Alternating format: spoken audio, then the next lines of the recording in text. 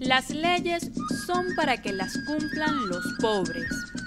Las leyes son hechas por los ricos para poner un poco de orden a la explotación. Los pobres son los únicos cumplidores de leyes en la historia.